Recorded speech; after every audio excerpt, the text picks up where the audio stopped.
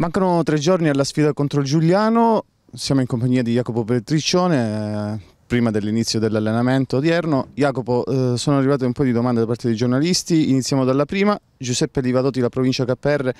dopo gli ultimi campionati disputati tra Serie A e Serie B, quali difficoltà, se ne sono esistite, hai dovuto superare in Serie C? Ma eh, la difficoltà più grande è stata magari a livello mentale perché dopo tanti sacrifici essere arrivati in Serie A non è, non è facile scendere, però mi sono detto che devo cercare tutti i modi di risalire, di farlo con, magari col Cortone e quindi lavorare sempre al 100% per, per cercare di tornare, tornare lassù. Attilio Malena, il quotidiano del Sud, chiede dove senti di rendere al meglio e da regista davanti alla difesa o da mezzala con compiti più offensivi? Ma ho avuto la fortuna in carriera di fare un po' tutti e due i ruoli, quindi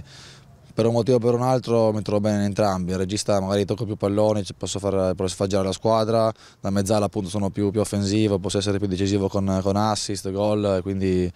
per un motivo o per un altro mi, mi piacciono entrambi. Sempre Tilio Malena, cosa rappresenta questa di stagione rispetto alle altre per Jacopo Petriccione con la maglia del Crotone? Ma sicuramente come, come ho detto prima, una stagione deve essere quella del riscatto dopo eh, due anni difficili, eh, voglio tornare a fare bene, voglio tornare a dare il 100%, eh,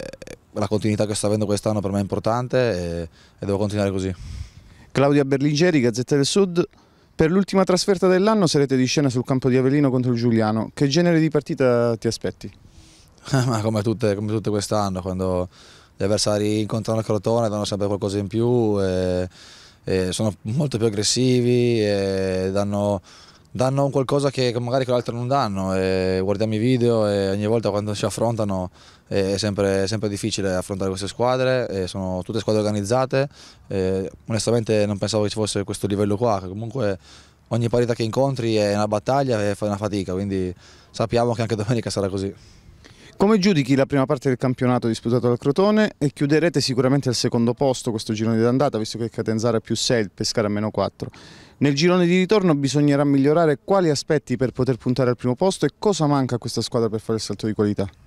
Ma non manca, non manca, no, non manca molto, alla fine se vedo gli altri gironi vedo i campionati passati che, che seguivo sempre, e ad oggi il Crotone sarebbe primo in classifica ogni anno in tutti i gironi a, a più 5-6 da tutte le squadre, quindi in questo momento bisogna fare complimenti al Catanzaro perché sta facendo cose di straordinario, noi dobbiamo stare lì pronti sul pezzo sempre ogni domenica per, per cercare di approfittare del loro passo falso.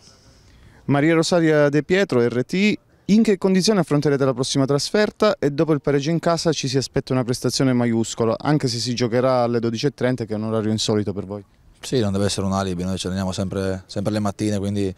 siamo abituati a questo tipo di orario. E da Crotone ci aspetta sempre prestazione maiuscola e spesso anche quando vinciamo veniamo a volte non dico criticati, però accusati magari di, di dover fare qualcosa in più, però noi non ci interessa, noi prepariamo tutte le partite come sempre al massimo e andiamo in campo per vincere.